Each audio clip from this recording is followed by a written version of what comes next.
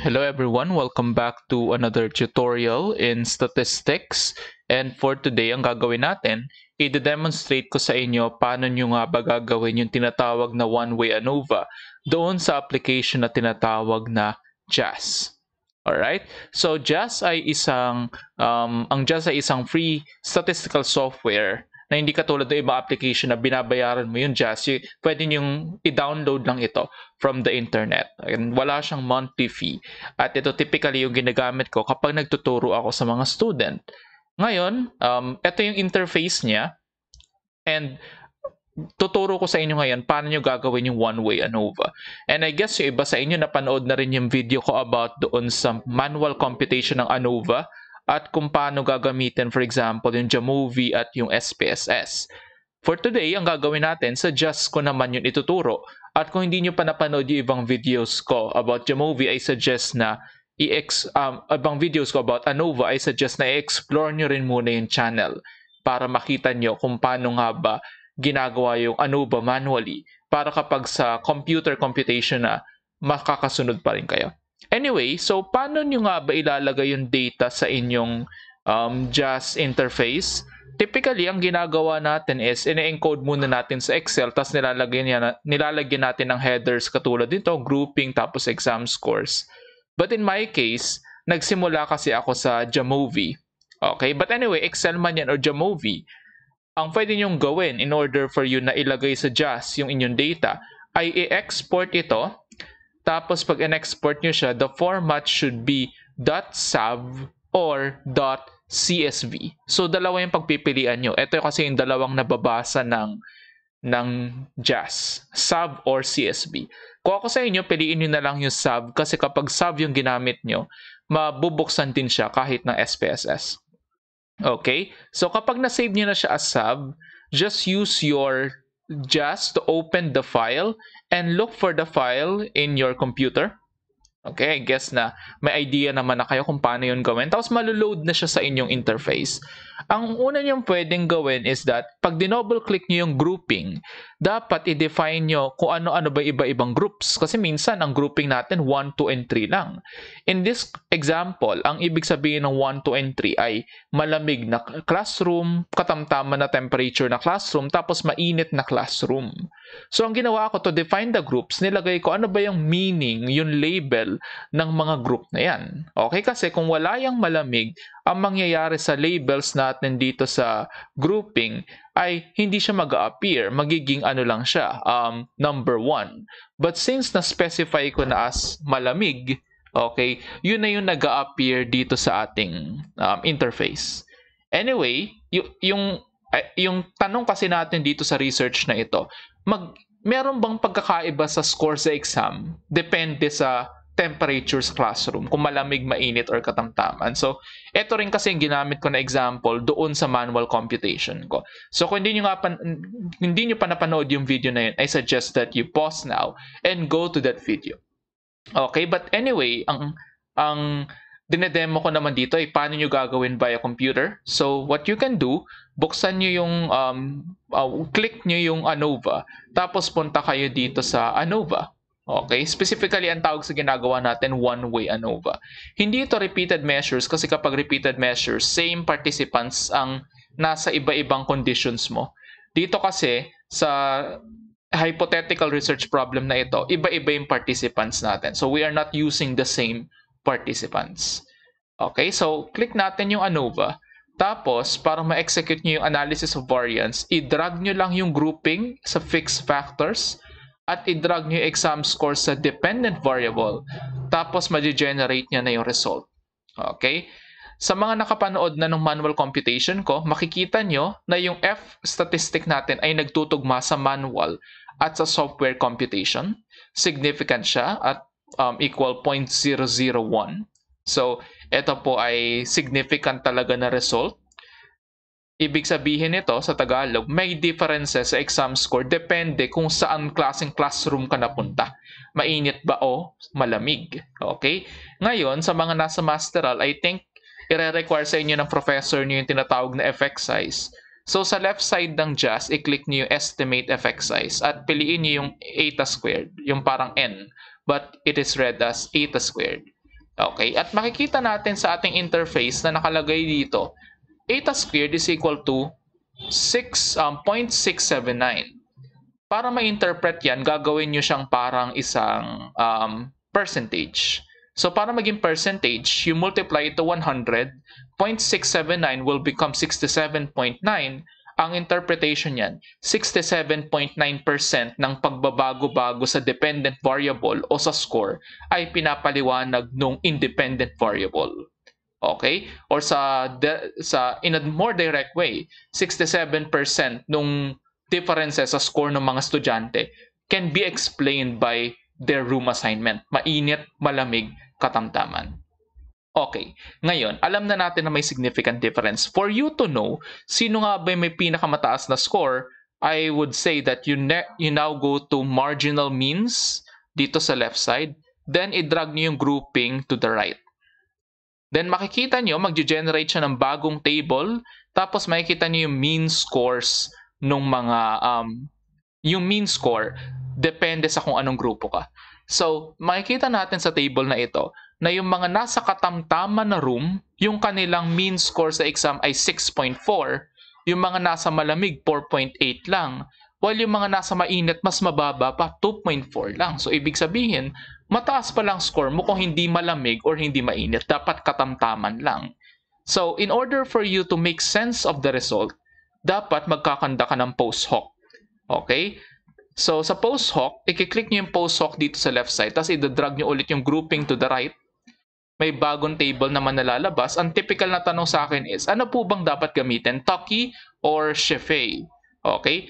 Yung Shefei kasi ginagamit mo siya kapag yung sample size mo, yung dami ng participants mo per group, hindi pantay-pantay. Kunyari, um, hindi pantay yung lalaki at babae.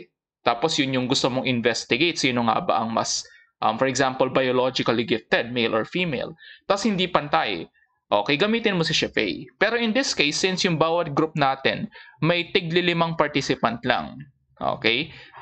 Pantay-pantay, lima silang lahat. We can use Tuki. Tukey's HSD or honestly significant difference. Okay, so ngayon makikita na natin sa bagong table yung result ng ating comparisons. Tapos, chinekan ko dito sa left side yung flag significant comparisons. Ibig sabihin, kapag kinompare niya yung mga grupo sa isa't isa, yung mga may asterisk dito sa right side, yun yung mga comparison na significant. Okay? Ibig sabihin, pag nag-significant, malaki yung kanilang difference. Unexpected yung kanilang difference. Hindi na normal ito. Okay? So, tingnan natin. May asterisk dito yung itong value na ito, yung 0.028. Medyo maliit nga lang sa ating interface. Kaya, yung sa Jamovi, ang gusto ko doon, mas malalaki yung mga fonts. But anyway, let me continue. Ano pong ibig sabihin nito? Okay, so ano bang kino-compare dito sa linya na ito? Makikita nyo na blanco kasi yung sa left side eh. Kapag blanco, ibig sabihin kung ano yung nasa taas niya, kopyahin mo lang sa baba. So nakalagay dito malamig. Tapos yung nasa kanan niya mainit. Ibig sabihin tong row na to, yung second row, yan yung comparison ng malamig versus mainit. So pag kinompare mo yung score ng mga estudyanteng nasa malamig at nasa mainit, significant yung kanilang difference. Okay, specifically, sabi nga ng ating means, yung mga nasa malamig, yung score nila ay 4.8. Yung mga nasa mainit, yung score nila ay 2.4 lang. Okay? Ngayon, meron pang isang mas significant na difference, yung meron tatlong asterisk. Yun po yung katamtaman versus mainit. Okay? Ibig sabihin, yung mga nag-exam sa normal temperature, sobrang taas ng score nila compared sa mga nag-exam sa mainit, 2.4. Okay? Kaya kapag nagpapa-exam kayo, dapat yung temperature ng kwarto ay sakto lang. Okay? Now, in the in the next part, ang gagawin natin, papakita ko sa inyo paano nyo ba siya ire-report in APA format. So let me show the write-up here. So as you can see, i-close lang natin ito para makita natin ng mas malaki itong nasa right side o yung sa just result. Ganito ko siya ni-report sa aking write-up. The present study was conducted to determine if room temperature has an effect on exam performance. The participants were randomly assigned into three conditions, cold, average, and warm temperature. Okay? One-way ANOVA was utilized to determine if significant differences exist between the conditions. Tapos dito mo na sabihin yung result. Results shows that there is a significant difference in exam scores across the three conditions. Tapos, makikita nyo, meron ditong F, okay, 2, 12 sa loob ng parenthesis. San galing yan? Doon sa DF1 at sa DF2. Okay, yung DF sa grouping at yung DF sa residual. 2 at 12 yan. Ganyan lagi yung format. Unahin nyo yung sa grouping kapag sa JAS, pangalawa yung sa residual. 212 is equal to 12.7 galing dito sa F, okay? Comma, yung p-value equal to 0.001. Okay? Since meron tayong eta squared, pwede kayong maglagay ng um, another sentence dito. You can say something like this. 60 Okay. All right, 67.9% Okay, so uh, actually, um, let's phrase it. Let's phrase it in a better way. We can say something like um, the the independent variable accounts for 67.9% of the variance in exam scores. Okay, sa Tagalog, yung independent variable o yung assignment nila sa mga room, malamig, mainit, or katamtaman, ay nagpapaliwanag ng 67.9% ng pagbabago-bago sa exam score. So, malaking factor talaga siya kasi 67.9% na ito eh. Okay? Tapos nun, nilagay ko dito, TOKIS HSD was used as a post-hoc test. It reveals that those who took the exam in average temperature scored significantly higher than those in the warm room. Okay? So, kapag sasabihin nyo yung grupo, average group, katamtama na grupo, sabihin nyo na agad yung mean at yung standard dev, which manggagaling dito yon sa descriptive table natin, sa marginal means. Okay? So, let me see kung just makikita natin yung standard deviation.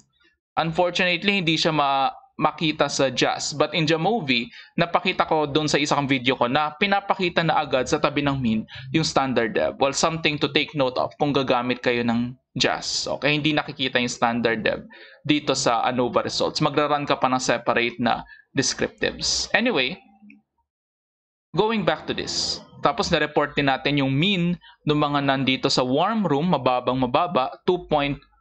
Sorry, this should be 2.4, not 2.2. Okay?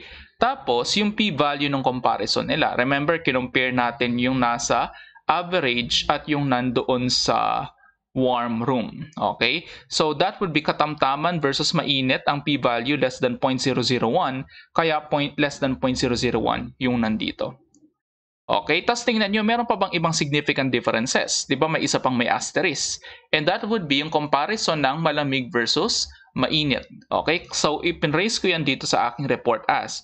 Moreover, those who were in the cold room, okay, mean ng cold room, based sa ating mean table, also scored significantly higher than those in the warm room. Okay? P is less than 0.05. Hindi ko na inulit yung mean ng warm room kasi binanggit na ito kanina, but it's up to you actually. Okay? Ayoko lang maging redundant sa aking report. So sa last sentence, ipaliwanag mo siya in a language na maiintindihan ng mga walang training sa stats. So dito nakalagay, the, these findings show that the temperature of the room significantly affects the exam performance of the students. Okay? Or pwede mo pang i-elaborate. Specifically, those who were in an average, um, those who were in a room with average temperature performed significantly higher than those who were assigned in a warm room Okay? At pwede mo pang mas i-elaborate yon in layman's term or sa madaling salita. Okay? So I hope marami kayong natutunan sa demonstration na ito. I hope that you also share this with your classmates or your fellow researchers kung meron kayong natutunan in this demonstration. Thank you so much for listening in this video. Don't forget to like and subscribe. See you in the next tutorial.